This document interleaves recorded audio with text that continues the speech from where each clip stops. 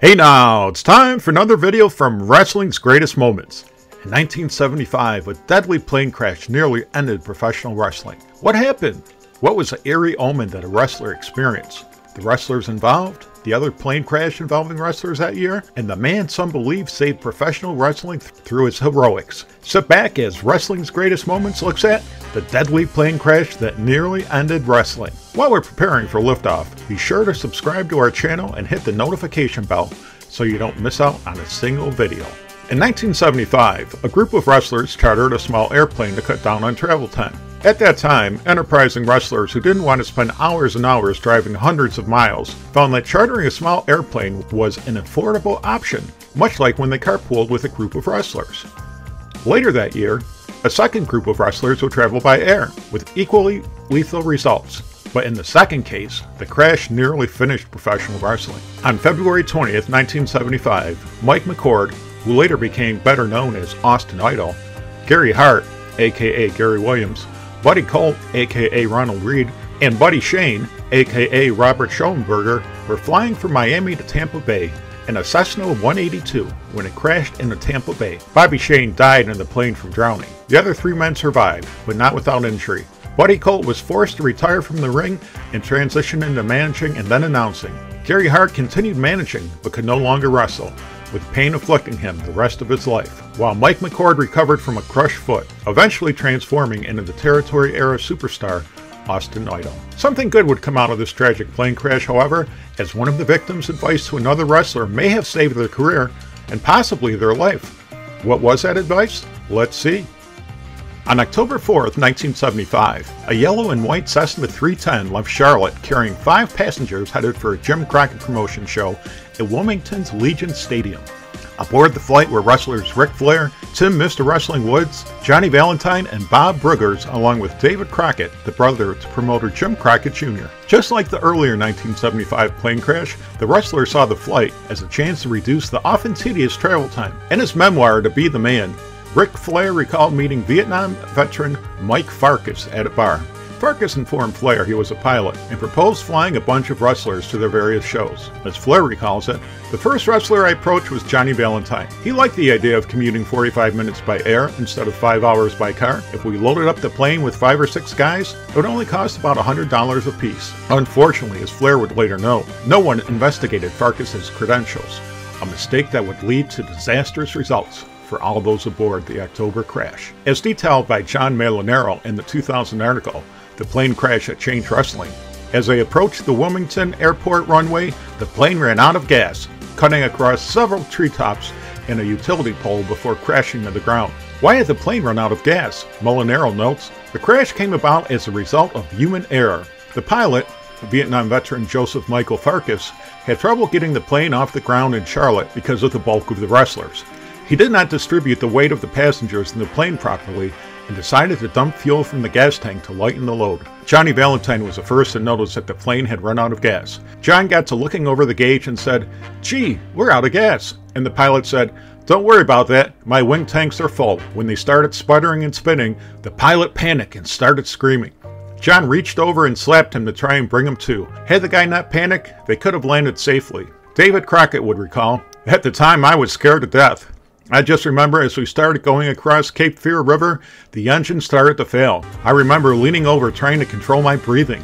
My wife had her first child two weeks before. I was trying to do Lamaze so I wouldn't get the wind knocked out of me and pass out, because I knew if I'd passed out, I'd be deader than a doornail. I remember thinking, I've got all these wrestlers in front of me. If we crash in this water, I'll never get past them and get out. There'd be no way. The results were catastrophic. David Crockett recalled what happened before the plane crashed. We crashed about 100 yards short of the runway. We just missed a water tower from the prison camp, which is there at the end of the runway. The pilot stalled it and hit a tree, and luckily we didn't flip and turn upside down. We hit another tree and bounced off and nosedived into a railroad embankment. If we had gotten past the trees, we would have made the clearing right before the runway. With danger looming, everyone tried to prepare themselves for the crash. Mr. Wrestling recalled Austin Idol's account of the crash, learning from Idol's experience. Austin Idol did not have his shoes on on the plane, and it tore the bottoms of his feet down to the bone, and he nearly never wrestled again. When Austin Idol told me about that, that was the first thing that went through my mind. I didn't have any shoes on either. The pilot had a big briefcase with some airplane manuals in it.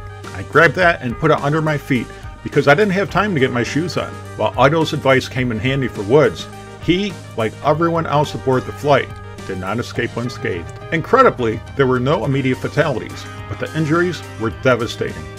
Mike Farkas, the plane's pilot, suffered a serious head injury and entered a coma from which he never emerged. Farkas died roughly a year later. Johnny Valentine. Valentine was seriously injured and would never wrestle again due to his injuries. Bob Bruggers. Brugger suffered a serious injury, and according to Ric Flair, Bruggers might have continued wrestling, but he chose to take an insurance settlement and open a bar with some of the proceeds. David Crockett. David suffered several injuries but returned to Mid Atlantic Championship Wrestling. Ric Flair.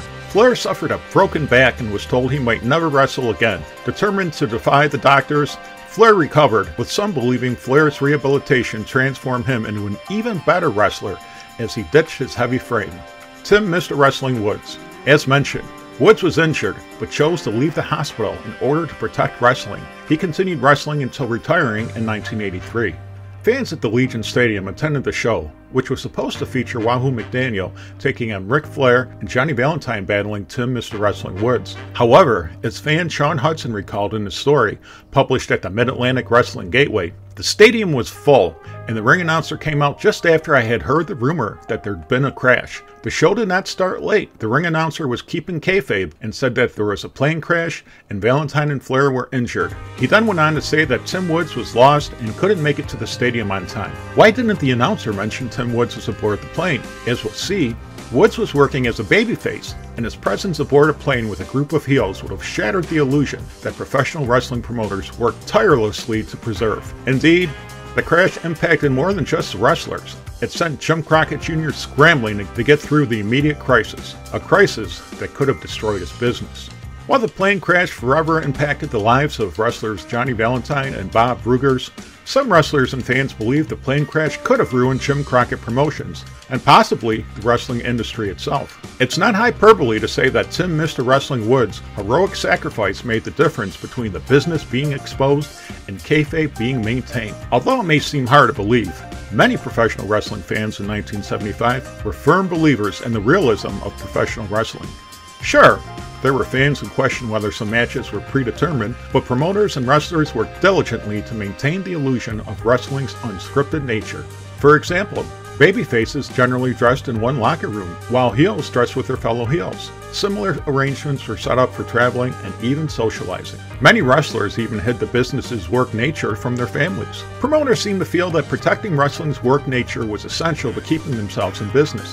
While the case can be made that fans might not have cared as much as promoters thought, promoters had been working the fans for so long that there was no reason to buck the system. The WWF would acknowledge wrestling's predetermined nature over a decade later, only because it allowed them to avoid paying state athletic commissions. Thus, promoters dismissed any notion that professional wrestling was anything but a legitimate sport, regardless of how hard reporters pressed them, or skeptical members of the public snubbed their noses at it. Perhaps the best example of kayfabe, and the public's perception that wrestling was legitimate, was when Wahoo McDaniel, who was friends with Ric Flair behind the scenes, despite being bitter rivals on air, visited Flair at the hospital. As reporter Mike Mooneyham tells it, Wahoo was one of the first guys to visit him in the hospital, and of course, the hospital attendants were startled when they saw Wahoo. They tried to restrain him. They believed it was a real feud and that Wahoo was trying to break into the hospital to get at Ric because Wahoo was barging right through the security in his style, and they thought they might have to call the police on him. Is it any surprise that Tim Woods went to extraordinary lengths to keep himself from being identified? Recall Woods was the only babyface wrestler on the plane, something which would have shocked fans when they believed the faces and heels were more than rivals, but lifelong enemies. The idea of a babyface riding with heels could have ruined Jim Crockett Promotions, and even all of wrestling. According to Ric Flair, even as he checked in the hospital, Tim was protecting the business. He identified himself by his given name, George Burrell Woodin, and claimed to be a wrestling promoter. Because he wrestled under a mask, there was a possibility that no one would make the connection. Flair believes Woods checked himself into the hospital the next day to reduce the chance of anyone connecting George Woodin with Tim Woods.